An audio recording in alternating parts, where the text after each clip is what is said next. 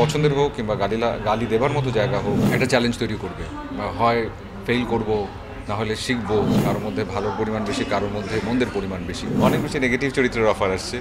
যে চরিত্রগুলো আমি না, যে চরিত্রগুলোর সাথে আমার কোনো সম্পৃক্ততা নাই, আমি বরাবরই একটা বিষয় বলে আসছি যে মাঝখানে অনেক বেশি কাজ করা হয়েছে নাটকে, তারপরে একটা সময় পরে কাজ কমিয়েছি।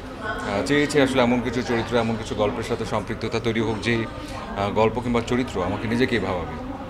একটা চ্যালেঞ্জ তৈরি করবে। হয় ফেল করব, না হলে শিখব না হয় হয়তো আরও চেষ্টা করতে জানতে হবে। তো সেই জায়গা থেকে আসলে এই গল্পটির সাথে সম্পৃক্ত হওয়া। এবং হয় না যে আমাদের আশপাশে আসলে সব কি খুব পজিটিভ চরিত্র আছে? নিশ্চয়ই না। অনেক রকমের চরিত্র, ভালো, মন্দ মিশেল কারোর মধ্যে ভালোর পরিমাণ বেশি, কারোর মধ্যে মন্দের পরিমাণ বেশি। তো সেই সব মিলিয়ে আসলে গল্পটা এবং এটা সত্যি যে এই চরিত্রটাকে দর্শকরা ভালোভাবে নিয়েছেন। অনেকেই অ্যাপ্রিসিয়েট করেছেন। আবার অনেকে আসলে আমার, আমি যেভাবে করে আসলে বিভিন্ন রকমের গল্পের সাথে সম্পৃক্ত, আমি কেন এই গল্পে সেটাও বলেছেন। কিন্তু সবগুলো কমেন্টে আমি খুব সাদরে গ্রহণ করেছি।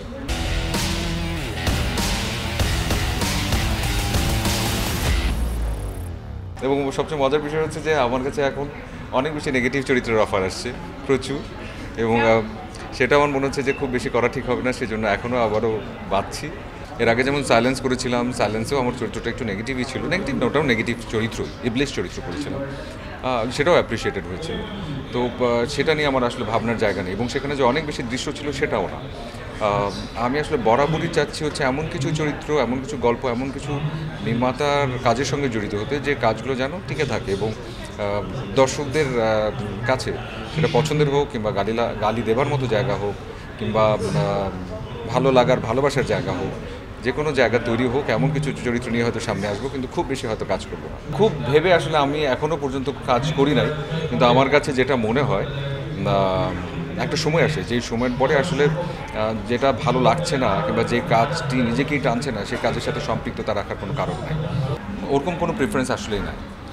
আর যদি একদম শুরু থেকে বলি শুরু থেকে আসলে অভিনয় করতে ভালোবাসি, সেটাও বুঝতে পেরেছি অনেক পরে।